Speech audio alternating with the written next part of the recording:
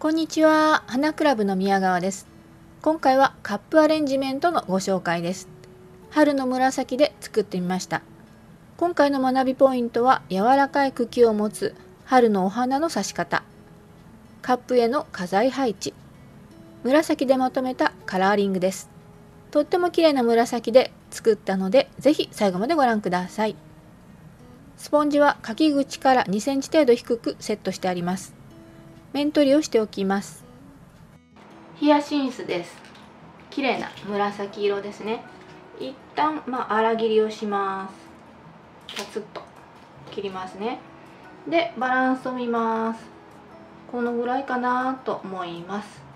目安的には器の1倍と4分の1ぐらいの感じですね。で刺す深さがあるので1倍半で切ればいいかなという感じです。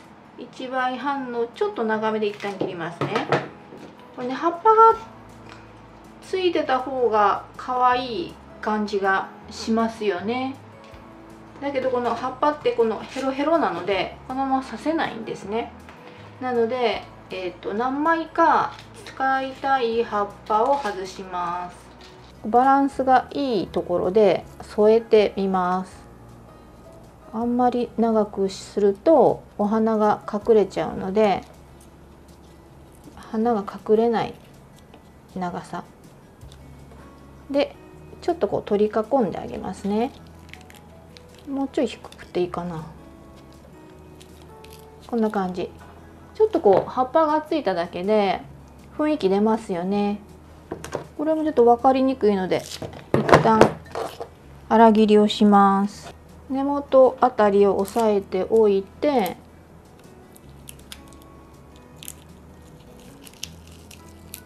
セロテープで巻いていきます。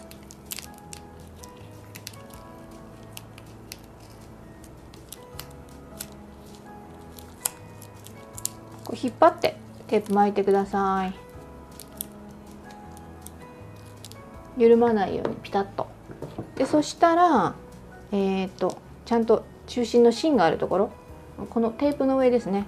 そこでカットします。カットしたら差し込んできます。ど真ん中じゃなくってちょっとだけずらしますね。中心を少しずらして、まあ、正面見てから。これは裏側ですね。なので表面綺麗に見えるところ。真ん中を外したところに差し込みます。あのヒヤシンスって茎が柔らかいのでもしどうしても刺しにくかったら先に茎とかで穴を開けておいてその中に差し込んでもらってもいいですね。もしくはどうしてもねなんかうまいこと入っていかなかったら22番ワイヤーです。でそれをこの中に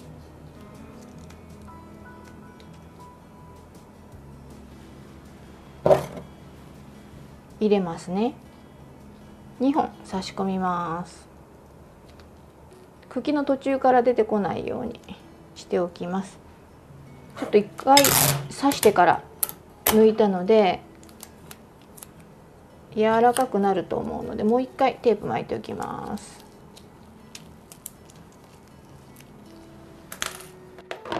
でそれでさっきよりも深く刺します。1回目よりもぐっと。で最初からワイヤーかけておけばよかったですね。ぐさっと深めに刺しておきます。こんな感じです。えーと、どうしてもねあのヒヤシンスの茎がちょっとふがふがめなのでワイヤー入れたりとかしとく方がいいかなと思います。カーネーションです。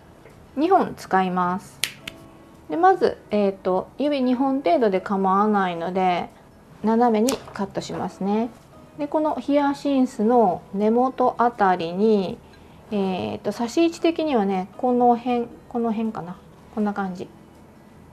少し中心線よりもちょっとだけ右ですね。右寄りのところに少し前に傾けてぐさっと深めに刺します。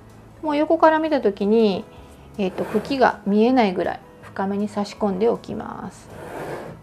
反対側もほぼ同じぐらいの長さでカットします。このヒヤシンスを挟んだ後ろ側ですね。にほぼ同じぐらいのイメージでしっかりとぐさっと刺します。こんな感じ。でこちらももう茎が見えないぐらいに深く差し込んでます。この手が右側に来るので、まあ、ここが正面という感じですね。スイートピーです。ちょっとね大きいのとちっちゃいのと。あんまり背を高くするとヒヤシンスの存在感が低くなるのでちょっとこうお花大きいのでヒヤシンスよりも低く使います。で差し分は指2本程度あったら大丈夫です。この横枝のところから指2本でカットします。でこのヒヤシンスのお隣ですね。低めにグッと入れます。でこっちのちょっとこう小ぶりな方は一旦粗切りをして当ててみます。この大きいスイートピーよりはほんの少し高くなっていいかなっていう感じですね、えー、なので、まあ、同じようにこの一番下の横枝から指2本でカットしてもらったらいいかな。そしたらこれの斜め後ろぐらいのところに差し込みます。正面から見た時にこの高さよりちょっとだけ高めみたいな感じですね。で残ってるスイートピーを差し分指2本程度でカットして後ろ側とかに入れておきます。ぐさっと深めに。スプレーストックです。一旦粗切りをしてヒヤシンスより長くならない高さですね。スイートピーとカーネーションの間ですね。ちょっと開けて、えスイートピー炒めないようにして差し込みます。でこれはえーとここでカットしますね。切り分けます。隙間のところ。に差し込みます。斜め上から下ですね。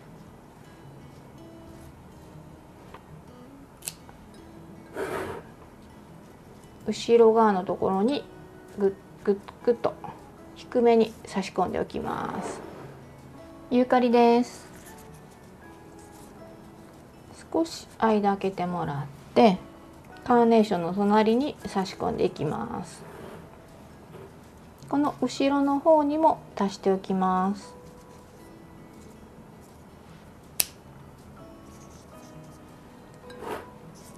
小さく分割してスポンジを隠しておきます。後からの花を入れやすいように全部埋めるんじゃなくてちょっと隙間も作っておきます。まだこうスポンジ面が見えるのが分かりますかね。アネモネです。一旦粗切りをして、えー、置いてみます。このぐらいかな。あまり斜めに切りすぎないように茎が柔らかいのでまあほんのちょっとだけ斜めな感じですかね。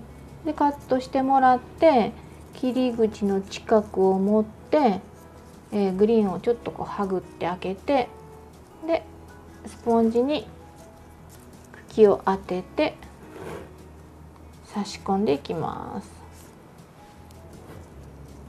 同じ花材を近くに入れる場合は長短をつけます。リュココリーネです。紫のカーネーションの上に乗ってくるイメージですね。で差し分を3センチ程度取ってカットします。で切り口の近くを持ってちょっとずつ差し込んでいきます。最初のスイートピーですね。残しておいたのを足します。よいしょ。低くしときますね。22番ワイヤーです。でふがふがしてるしうねってるので刺しにくいのでワイヤーを中に入れます。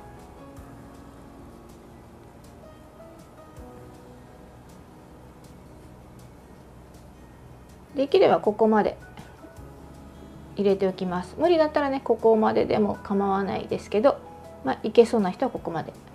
お花のところまでワイヤー入れてもらうといいですね。でこの切り口のところにセロテープを巻きます。このままカットして刺すと茎が割れてきたりとかするんですね。なのでテープ巻いてもらってテープの上を切ります。でこれで差し込んでいきます。このカーネの上に乗る感じですね。隙間にユーカリを足しておきます。チーズです。そんなに長くしないので切り分けて使います。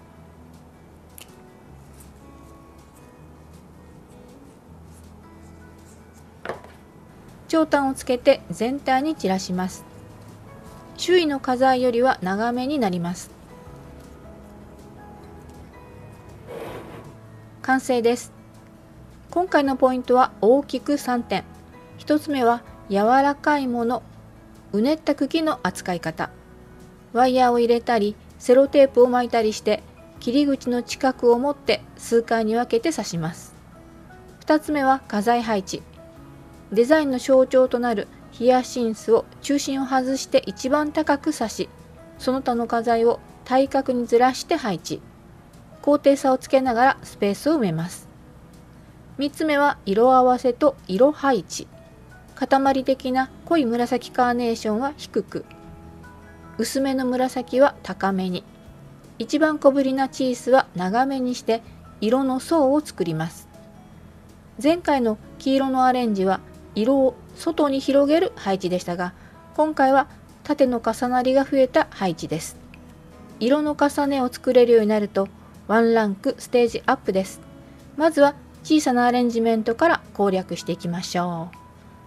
今回も最後までご覧いただきましてありがとうございました。ではまた次回の動画でお会いしましょう。またね